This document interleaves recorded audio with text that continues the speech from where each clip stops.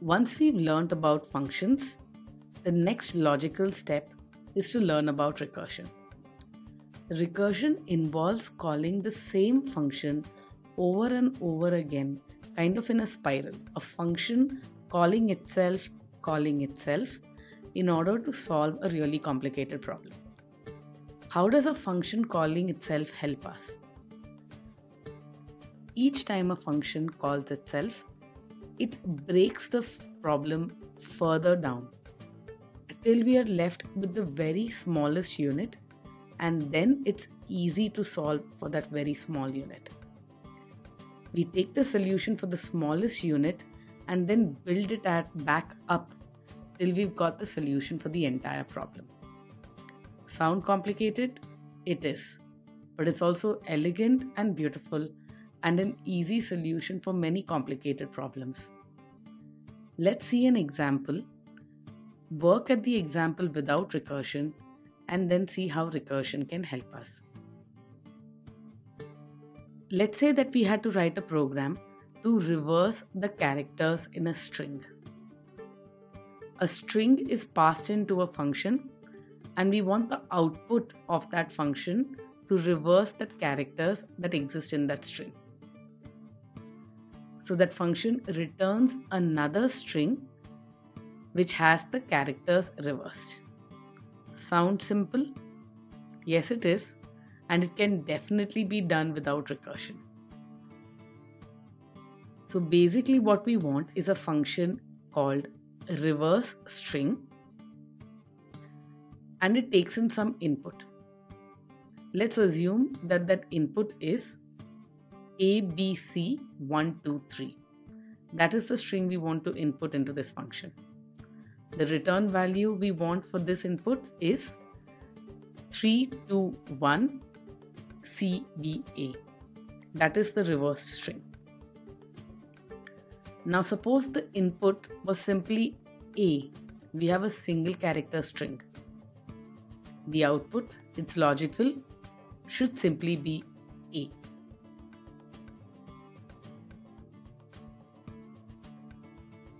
Let's see the step in, steps involved in solving this problem. What we can do is to interchange the first and last characters of the string. So we do a simple swap where after the swap, the first character becomes the last character and the last character becomes the first. And then we interchange the second and the second last characters of the string. So we kind of moved inwards, and the second character becomes the second last, and the second last becomes the second. We keep going like this till we reach the middle of the string. So we've kind of started at the edges and then we are moving towards the center. Imagine both your hands moving from the edge towards the center of the string. At, when we reach the center of the string, all pairs of characters would have been interchanged. This is true because whether the string is of odd or even length, we would have exchanged all pairs of characters. Now, this is one possible way of solving this problem. What would this involve? We'd probably use a for loop to iterate over the string. And for every iteration of the loop, we'd perform one exchange. Sounds simple enough, it's easy to imagine this. This is a solution using a for loop. And a string, if you really think about it, is simply a list of characters. So, what we are doing is iterating over the list of characters and going about performing these swaps. This is an iterative solution to this problem. We've solved the reverse string function using an iterative solution. Let's see another solution to this problem. What we can do is when we first receive the input string, we split the string into two parts. These are not equal parts. The first part is simply the first character of the string. And the second part is all the remaining characters of the string. And then, so that's the first thing we do in this function. We split it into two parts with the first part containing only the first characters and the rest of it containing all the other characters except the first. Then we reverse the second part of the string. Once the second part of the string is reversed, we simply take the first part and append it to the end of the reversed part. It's kind of complicated. So we have the first part, reverse the second part of the string. We have a fully reversed part string except the very first character, which we append to the end of the reversed second part. And then we return the result. Hmm. Does this sound complicated? It is. Let's see. The input is ABC123. That's the string that we've passed into this algorithm. So the first part of the string is A and the rest of the string is BC123. So far, so good. Suppose we can reverse the second part of the string. We will get 321CB. Let's not worry about how we reverse the second part of the string. Needless to say, if we reversed it, if we manage to do it, we'll get 321CB. Append the first part, that is the A, to this reverse string. Does that look like a completely reverse string to you? Yes. The result that we get will be 321 CBA. And that is what we'll return. So if you break up this problem in this manner, you see that you get the result. There is a question here though, one important thing. How do we reverse the second part of the string? How do we magically find a way to reverse one part of the string? And the answer is kind of tricky here. The answer is that we'll simply use the same reverse string function. We've just written the logic for the reverse string function. We'll continue to use this to reverse the string. Hmm. How does that even work and how to prevent this from going on forever? You can simply keep calling reverse string over and over again. How do you end? And the way to end is to add a condition to the very beginning that if the string has just one or fewer characters, the reversed string is the string itself.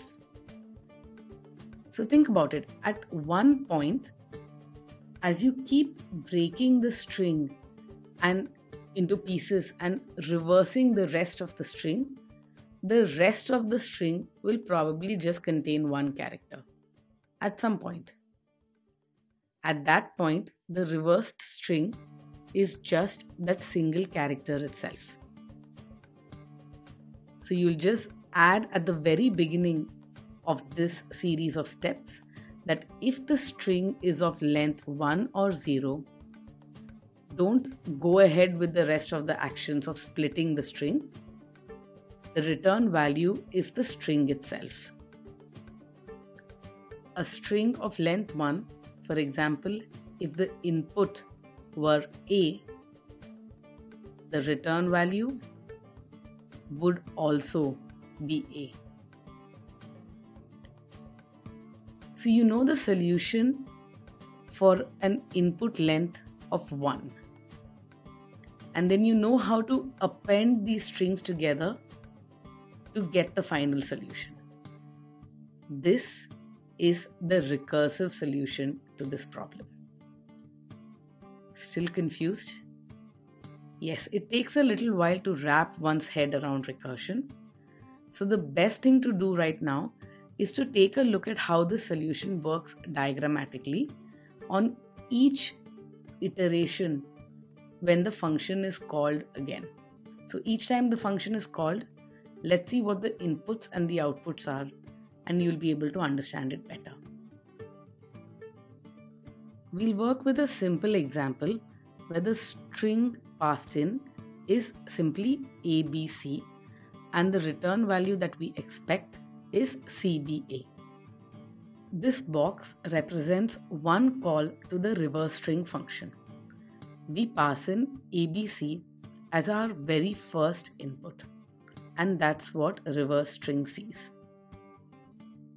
The first call to the function, the input argument, is ABC and it's passed to reverse string. So, what does it do now? It takes ABC and splits it into two parts. The first part is simply A, and then the rest is the rest of the string, which in our case is BC. And then we call reverse string on BC.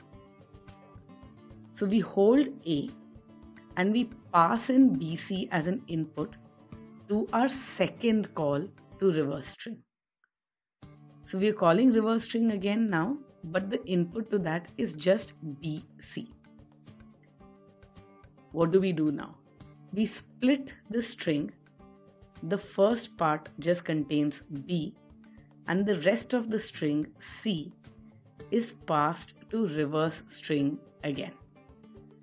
So the third time we call reverse string, the input argument is just C. This is when the base case kicks in. We know that when the length of the string is just 1, we return the string itself. So when C is passed in, C is the return value to the second call of reverse string. So now at this point, we are back in the second call and that has received C what do we do here? We take the string, which is C in this case, and append B to it. We add B to the very end and return it, which means what gets returned to the very first call is CB. What do we do in our very first call to reverse string? Once more, we take the result the return value that we've gotten and append the part we are holding, that is A, to it. We add it to the end and we get CBA. Notice this is the completely reversed string that we were expecting. It's almost magical how re- recursion works. In our third call, because the string was three characters long. The base case kicked in here because the input argument of C had just a length of 1. A string which is just one character long, the, re- the reversed part of it is just the character itself. So recursion seems complicated, but it's a very intuitive, elegant way of solving problems. Once you start thinking recursively, very complex problems can have simple 3 4 line solutions.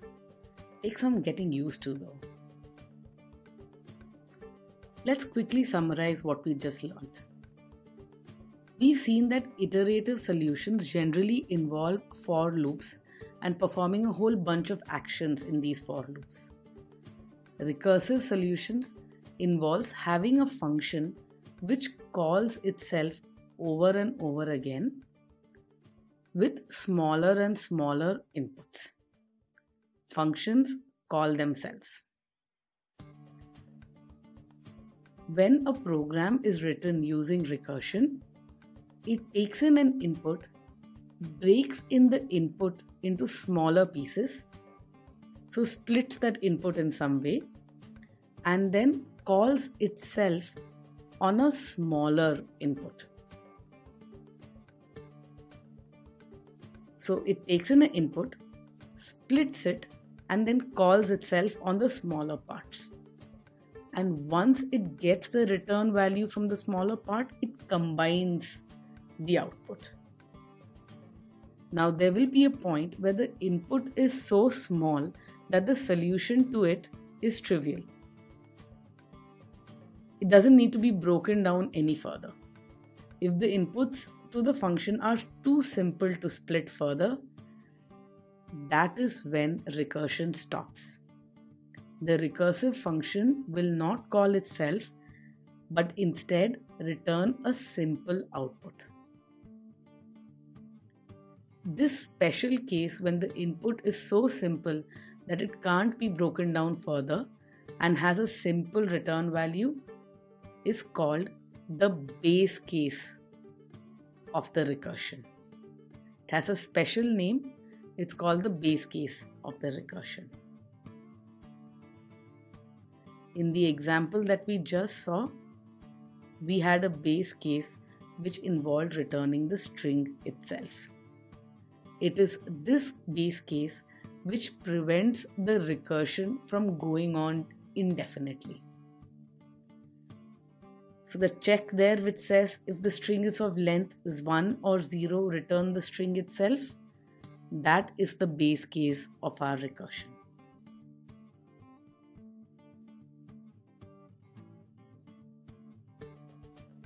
I'll repeat what I said early on in this class recursion is a pretty powerful idea. There are a whole family of problems which can seem really difficult to solve iteratively. The computation involved in solving them iteratively can be huge. But they are really intuitive and simple when you manage to think about them recursively and write a recursive solution. In my head, I think of recursion a little bit like mathematical induction in math. You figure out the very base case, the unit solution which is easy, and the larger solution builds itself.